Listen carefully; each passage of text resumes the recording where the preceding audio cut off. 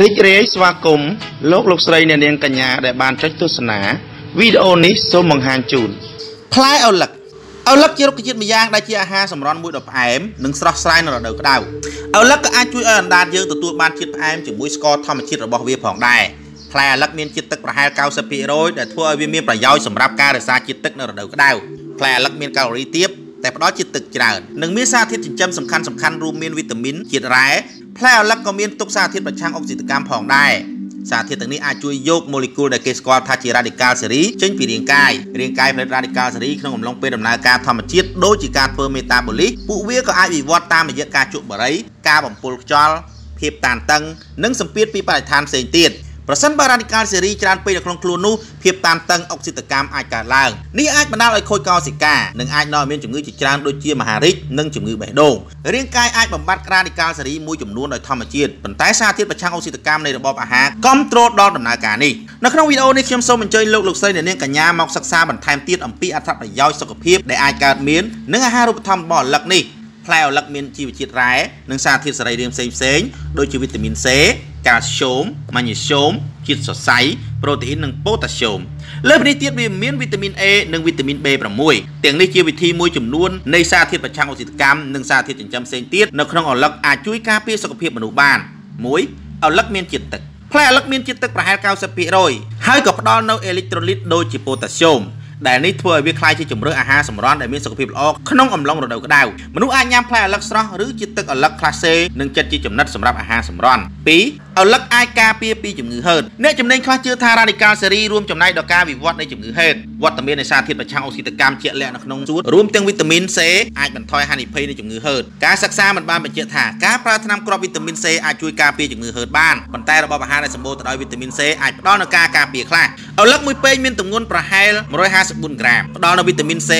12.5មីលីក្រាមឬចន្លោះពី14%ទៅ16%នៃតម្រូវការវីតាមីន C ប្រចាំថ្ងៃរបស់មនុស្ស 3ឪឡឹកជួយសម្រួលសម្ពាធឈាមនៅក្នុងការសិក្សាឆ្នាំ2012អ្នកស្រាវជ្រាវបានរកឃើញថាផ្លែឪឡឹកចម្រាញ់ អាចកាត់បន្ថយសម្ពាធឈាមក្នុងនិងជំវិញកជើងរបស់មនុស្សវ័យកណ្ដាលដែលមានជំងឺធាត់និងលើសឈាមនៅដំណាក់កាលដំបូងអ្នកស្រាវជ្រាវបានណែនាំថា L-citrulline និង L-arginine ដែលជាសារធាតុប្រឆាំងអុកស៊ីតកម្មពីរនៅក្នុងឪឡឹកអាចធ្វើឲ្យប្រសើរឡើងនៅមុខងារនៃសរសៃឈាម Lycopene ដែលជាសារធាតុប្រឆាំងអុកស៊ីតកម្មមួយផ្សេងទៀតនៅក្នុងឪឡឹកអាចជួយការពារប្រឆាំងនឹងជំងឺបេះដូងការពិនិត្យមួយនៅឆ្នាំ2017បានលើកឡើងថាវាអាចធ្វើបានដោយកាត់បន្ថយការរលាកដែលទាក់ទងនឹងជាតិខ្លាញ់ដែលមានដង់ស៊ីតេខ្ពស់ lipoprotein ឬ cholesterol ល្អ Phytosterol គឺជាសមាសធាតុរុក្ខជាតិដែលអាចជួយគ្រប់គ្រង lipoprotein ប្រូតេអ៊ីនដែលជាជាតិខ្លាញ់មានដង់ស៊ីតេទាបឬកូលេស្តេរ៉ុលអាក្រក់គោលការណ៍ណែនាំខ្លះណែនាំឲ្យទទួលទាន phytosterol 2ក្រាមក្នុងមួយថ្ងៃអូឡឹក154ក្រាមផ្ដល់នៅបរិមាណតិចតួចគឺ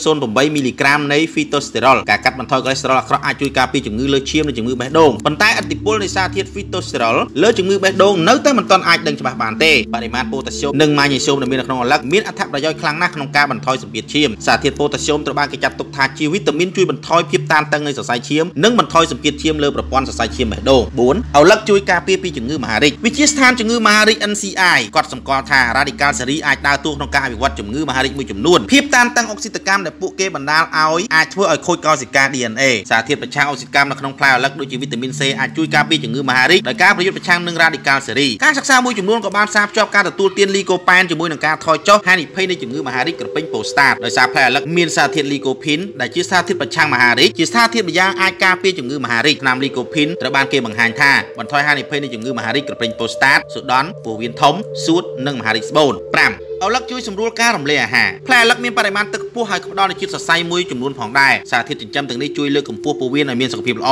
ដោយការការពារការទល់លាមកនិងលើកកម្ពស់ភាពទៀងទាត់នៃចលនាពោះវៀន6ឪឡឹកជួយជំនួយខួរក្បាលនិងប្រព័ន្ធសរសៃប្រសាទខូលីនជាសារធាតុប្រឆាំងអុកស៊ីតកម្មមួយផ្សេងទៀតមាននៅក្នុងផ្លែឪឡឹកវារួមចំណែកដល់មុខងារនិងសកម្មភាពចលនាសាច់ដុំការចងចាំនៃការរៀនសូត្ររក្សាចលនាសម្ព័ន្ធនៃភ្នែកកោសិកាការបញ្ជូនកម្លាំងជំរុញសរសៃប្រសាទការអភិវឌ្ឍខួរក្បាល ទ្រឹស្ដីមួយបានបង្ហាញថាសារធាតុខូលីនអាចជួយបន្ថយការវិវត្តនៃជំងឺវង្វេងប៉ុន្តែមិនមានភស្តុតាងគ្រប់គ្រាន់ដើម្បីបញ្ជាក់អំពីបញ្ហានេះទេ7ឪឡឹកជួយកាត់បន្ថយការឈឺឆាប់សាច់ដុំទឹកឪឡឹកនិងឪឡឹកអាចកាត់បន្ថយការឈឺសាច់ដុំនិងធ្វើឲ្យប្រសើរឡើងវិញបន្ទាប់ពីការធ្វើលំហាត់ប្រាណនៅក្នុងអត្តពលិកនៅក្នុងការសិក្សាឆ្នាំ2017អត្តពលិកបានផឹកទឹកចំណុះកន្លះលីត្រឬទឹកឪឡឹកជាមួយនឹងការបន្ថែម L-citrulline 2ម៉ោងមុនពេលរត់ប្រណាំងពាក់កណ្ដាលម៉ារ៉ាតុងអ្នកដែលបានទទួលទានភេសជ្ជៈឪឡឹកបានរាយការណ៍ថាឈឺសាច់ដុំតិចជាង24ទៅ72ម៉ោងបន្ទាប់ពីការប្រណាំងវាមិនច្បាស់ទេថាតើការទទួលទានឪឡឹកដោយមិនបន្ថែមសារធាតុ L-citrulline នឹងមានឥទ្ធិពលដូចគ្នាដែរឬទេ8ឪឡឹកជួយស្បែកឲ្យមានសុខភាពល្អផ្លែឪឡឹកមានផ្ទុកវីតាមីន C ដែលរាងកាយត្រូវការផលិត collagen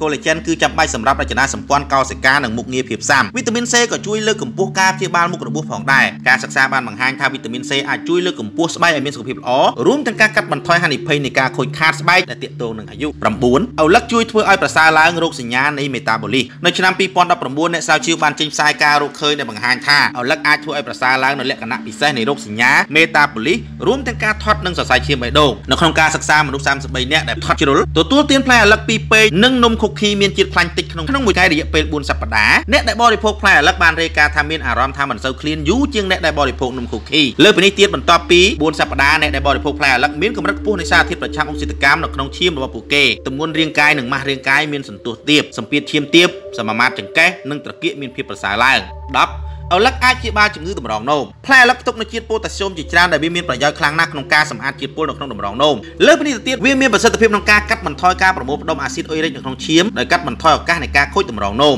11 ឪឡឹកអាចទប់ស្កាត់ជំងឺដាច់សរសៃឈាមក្នុងខួរក្បាលផ្លែឪឡឹកមានប្រសិទ្ធភាពក្នុងការកាត់បន្ថយសីតុណ្ហភាពក្នុងរាងកាយនិងសម្ពាធឈាមវត្តមានបរិមាណជាតិទឹកខ្ពស់នៅក្នុងផ្លែឪឡឹករំញោចបញ្ចេញជាតិរាវតាមការបែកញើសដែលធ្វើឲ្យរាងកាយរបស់លោកអ្នកត្រជាក់នៅក្នុងរដូវក្តៅ12ឪឡឹកអាចជួយដល់អ្នកជំងឺទឹកនោមផ្អែមអ្នកជំងឺទឹកនោមផ្អែមគឺញ៉ាំអាហារដែលមានថាមពលនិងរបបអាហារជាតិស្ករទាបផ្លែឪឡឹកអាចជាអាហារបំពន់ដ៏ល្អសម្រាប់ពួកគាត់មិនត្រឹមតែវាមានរសជាតិឆ្ងាញ់ប៉ុណ្ណោះទេវាក៏ផ្ដល់នូវកាឡូរីតិចតួចណាស់វាមានជាតិទឹកនិងអាហារជាតិសរសៃរហូតដល់99%នៃទម្ងន់សរុបរបស់វា